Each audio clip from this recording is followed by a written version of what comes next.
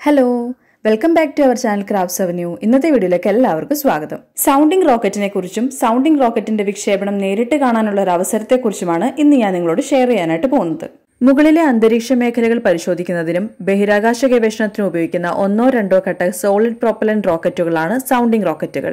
വിക്ഷേപണ വാഹനങ്ങളിലും ഉപഗ്രഹങ്ങളിലും ഉപയോഗിക്കാൻ ഉദ്ദേശിച്ചിട്ടുള്ള പുതിയ ഘടകങ്ങളുടെയോ ഉപസിസ്റ്റങ്ങളുടെയോ പ്രോട്ടോടൈപ്പുകൾ പരിശോധിക്കുന്നതിനോ തെളിയിക്കുന്നതിനോ എളുപ്പത്തിൽ താങ്ങാനാകുന്ന പ്ലാറ്റ്ഫോമുകളായും അവ പ്രവർത്തിക്കുന്നു. ആയിരത്തി തൊള്ളായിരത്തി അറുപത്തി മൂന്ന് നവംബർ ഇരുപത്തി ഒന്നിന് കേരളത്തിലെ തിരുവനന്തപുരത്തിനടുത്തുള്ള തുമ്പയിൽ നിന്ന് യു എസ് നിർമ്മിത നൈക് അപ്പാച്ചി എന്ന ആദ്യ സൗണ്ടിംഗ് റോക്കറ്റ് വിക്ഷേപിച്ചു. ആയിരത്തി തൊള്ളായിരത്തി അറുപത്തിയേഴിൽ ISRO T E R L എസിൽ നിന്ന് രോഹിണി എന്ന പേരുള്ള നമ്മുടെ സ്വന്തം ശബ്ദ റോക്കറ്റുകളുടെ ഒരു പരമ്പര വിക്ഷേപിക്കാൻ തുടങ്ങി. ഇനി നമുക്ക് എങ്ങനെ ഈ സൗണ്ടിംഗ് റോക്കറ്റിന്റെ വിക്ഷേപണം നേരിട്ട് കാണാൻ സാധിക്കുമെന്ന് നോക്കാം. അതിനായിട്ട് ആദ്യം ക്രോമിൽ വി എസ് എസ് സി എന്ന് സെർച്ച് ചെയ്യുക. ആ പേജിലെ സ്പേസ് മ്യൂസിയം എന്നുള്ളത് സെലക്ട് ചെയ്യുക. സ്പേസ് മ്യൂസിയം സെലക്ട് ചെയ്ത് കഴിയുമ്പോൾ നമുക്കിത് ഇങ്ങനെ ഒരു പേജ് കിട്ടും. സ്പേസ് മ്യൂസിയത്തിനെ കുറിച്ചുള്ള കുറച്ച് ഡീറ്റെയിൽസും അതിനുള്ളിലുള്ള കുറച്ച് ഇമേജസും ഈ ഒരു പേജിൽ കൊടുത്തിട്ടുണ്ട്. കൂടാതെ അവിടുത്തെ വർക്കിംഗ് അവേഴ്സ് ലൊക്കേഷന് ഇങ്ങനെയുള്ള കാര്യങ്ങളൊക്കെയാണ് ഈ ഒരു മെയിൻ പേജിൽ കൊടുത്തിട്ടുള്ളത്. ലെഫ്റ്റ് സൈഡ് ടോപ്പിൽ ത്രീ ലൈൻസ് ഉണ്ട്. ആ ലൈൻസിൽ ക്ലിക്ക് ചെയ്യുക. ആ ലൈൻസിൽ ക്ലിക്ക് ചെയ്ത് കഴിയുമ്പോൾ ഇങ്ങനെ കുറച്ച് ഓപ്ഷൻസ് വരും. അതിൽ പ്ലാൻ എ വിസിറ്റ് എന്നുള്ളത് ക്ലിക്ക് ചെയ്യുക. പ്ലാൻ എ വിസിറ്റിൽ ക്ലിക്ക് ചെയ്ത് കഴിയുമ്പോൾ ഗൈഡ് ലൈൻസ് ആണ് വരിക. ആ ഗൈഡ് ലൈൻസ് നന്നായിട്ട് വായിക്കുക. അപ്പോൾ നമുക്ക് ആ ഗൈഡ് ലൈൻസ് എന്താണെന്നുള്ളത് ജസ്റ്റ് ഒന്ന് നോക്കാം. ശനിയും ഞായറും പബ്ലിക് ഹോളിഡേയ്സും ഒഴികെ എല്ലാ ദിവസങ്ങളിലും V S S C space museum നമുക്ക് സന്ദർശിക്കാനായിട്ട് പറ്റും. അതിനായിട്ട് യാതൊരു ഫീസും ഇല്ല. സാധാരണ ദിവസങ്ങളിൽ രണ്ടായിരം വിസിറ്റേഴ്സിനെയാണ് അവർ അലൗ ചെയ്യുക. എന്നാൽ ആർ എച്ച് ടു ഹൺഡ്രഡിന്റെ ലോഞ്ചുള്ള ദിവസങ്ങളിൽ അയ്യായിരം പേരെ അവർ അനുവദിക്കാറുണ്ട്. മ്യൂസിയത്തിനുള്ളിൽ ചെറിയൊരു തിയേറ്റർ ഉണ്ട്. അവിടെ റോക്കറ്റുമായിട്ട് റിലേറ്റഡ് ആയിട്ടുള്ള ഷോസ് ഉണ്ടാകും. സൗണ്ടിംഗ് റോക്കറ്റിന്റെ ലോഞ്ച് കാണാനായിട്ട് പോകുന്നവരാണെങ്കിൽ നിങ്ങൾ പത്തരയ്ക്ക് മുമ്പായിട്ട് തന്നെ സ്പേസ് മ്യൂസിയത്തിൽ എത്തിച്ചേരുക. ഇന്ത്യൻസിന് മാത്രമേ ഇവിടെ പ്രവേശനം അനുവദിച്ചിട്ടുള്ളൂ. വിസിറ്റ് ചെയ്യാൻ ആഗ്രഹിക്കുന്ന ഒരു മൂന്ന് മാസം മുമ്പേ അപ്ലൈ ചെയ്യാനായിട്ടാണ് പറഞ്ഞിരിക്കുന്നത്. അതുകൊണ്ട് കഴിവതും നേരത്തെ തന്നെ അപ്ലൈ ചെയ്യുക. ഒരാൾക്കോ ഒരു ഗ്രൂപ്പിനോ എഡ്യൂക്കേഷണൽ ഇൻസ്റ്റിറ്റ്യൂഷനോ ഓർഗനൈസേഷൻസിനോ എങ്ങനെ വേണമെങ്കിലും അപ്ലൈ ചെയ്യാനായിട്ട് പറ്റും. അപ്പോൾ ഓരോരുത്തരും ഓരോ രീതിയിലാണ് അപ്ലൈ ചെയ്യേണ്ടത്. അതെങ്ങനെയാണെന്നാണ് ബാക്കി പറഞ്ഞിട്ടുള്ളത്. ഒരു എഡ്യൂക്കേഷൻ ഇൻസ്റ്റിറ്റ്യൂഷനോ അല്ലെങ്കിൽ ഒരു ഓർഗനൈസേഷനോ ആണ് അപ്ലൈ ചെയ്യുന്നതെങ്കിൽ അതിന്റെ ഗ്രൂപ്പ് ലീഡർ കുറെ ഡീറ്റെയിൽസ് കൊടുക്കേണ്ടതായിട്ടുണ്ട്.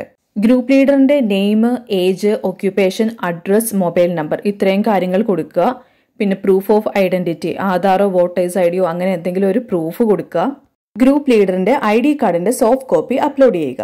ഈ ഇൻസ്റ്റിറ്റ്യൂഷന്റെ ഹെഡ് സൈൻ ചെയ്ത ഒരു സമ്മതപത്രം വേണം. അതിൽ ബാക്കിയുള്ള വിസിറ്റേഴ്സിന്റെ നെയിം ഏജ് സെക്സ് ഡെസിഗ്നേഷൻ ഇങ്ങനെയുള്ള കാര്യങ്ങളെല്ലാം തന്നെ കൊടുത്തിട്ടുണ്ടാവണം. അവരുടെ I D cards upload ചെയ്യേണ്ടതായിട്ടില്ല.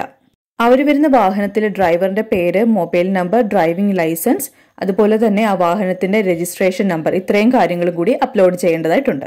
Visit ചെയ്യുന്ന ദിവസം ആ ഗ്രൂപ്പ് ലീഡർ അവരുടെ കൂടെ ഉണ്ടായിരിക്കണം.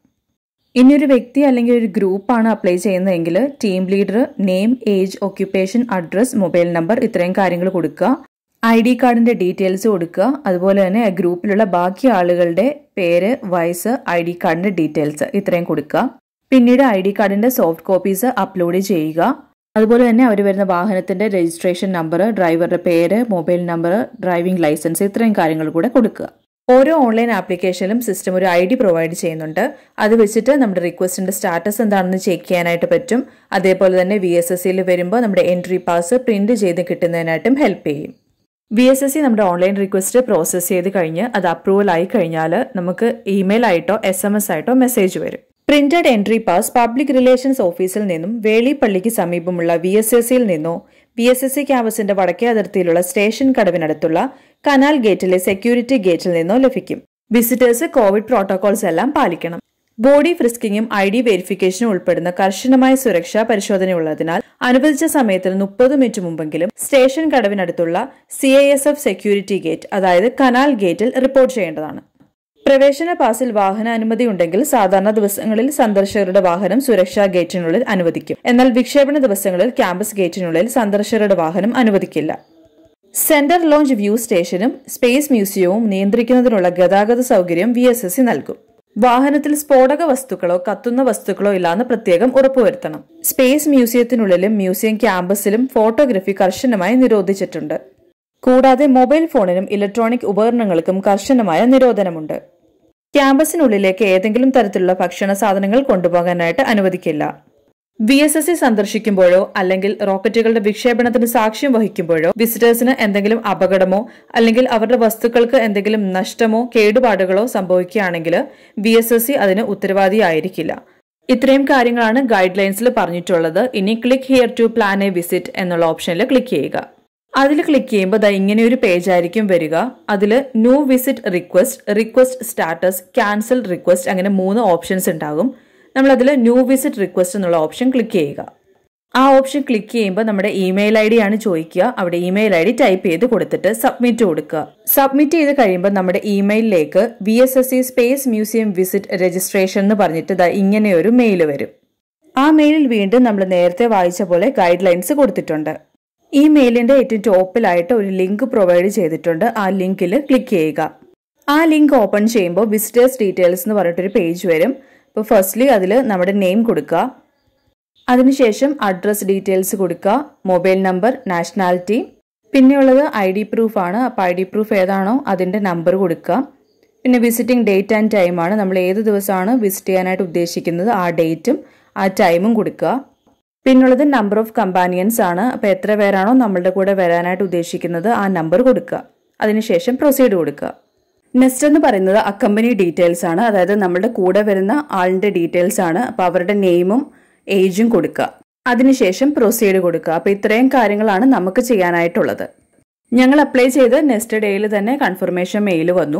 Your request to visit space museum has been approved എന്നാണ് മെയിൽ വന്നിട്ടുള്ളത്. അതിന്റെ കൂടെ visit I D date of visit numbers of visitors ഇത്രയും കാര്യങ്ങളും കൂടെ ഉണ്ടാവും. ആ ഒരു മെയിലിൽ വീണ്ടും ഗൈഡ് ലൈൻസ് കൊടുത്തിട്ടുണ്ട്. അപ്പൊ അത്രമാത്രം ഇമ്പോർട്ടന്റ് ആയിട്ടുള്ള കാര്യങ്ങളാണ് അതെല്ലാം. നിങ്ങൾ ആ കാര്യങ്ങളെല്ലാം പ്രത്യേകം ശ്രദ്ധിക്കുക.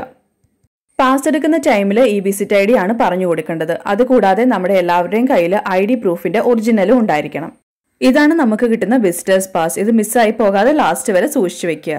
എല്ലാ മാസവും മൂന്നാമത്തെ ബുധനാഴ്ചയാണ് സൗണ്ടിങ് റോക്കറ്റിന്റെ ലോഞ്ച് ഉള്ളത്. അന്ന് പോയാൽ മാത്രമേ ഈ ലോഞ്ച് കാണാൻ പറ്റത്തുള്ളൂ. ബാക്കി ഏത് ദിവസം പോയാലും സ്പേസ് മ്യൂസിയം മാത്രമേ കാണാനായിട്ട് പറ്റത്തുള്ളൂ. ഗ്രൗണ്ട് മുതൽ നമ്മുടെ കണ്ണിനെ എത്രമാത്രം കാണാൻ പറ്റുമോ അതുവരെ നമുക്ക് ഈ ഒരു സൗണ്ടിങ് റോക്കറ്റ് പോകുന്നതായിട്ട് കാണാനായിട്ട് പറ്റും. നല്ല ക്ലിയർ ആയിട്ട് കാണാൻ പറ്റും. ലൈഫിൽ ഒരിക്കലും മറക്കാൻ പറ്റാത്ത മനോഹരമായ ഒരു അനുഭവമാണത്. അതുകൊണ്ട് നിങ്ങൾ ആരും ഈ ഒരു അവസരം മിസ്സാക്കരുത് എല്ലാവരും ഉറപ്പായിട്ടും പോയി കാണണം. അപ്പൊ നമുക്ക് അടുത്ത വീഡിയോയിൽ കാണാം. താങ്ക്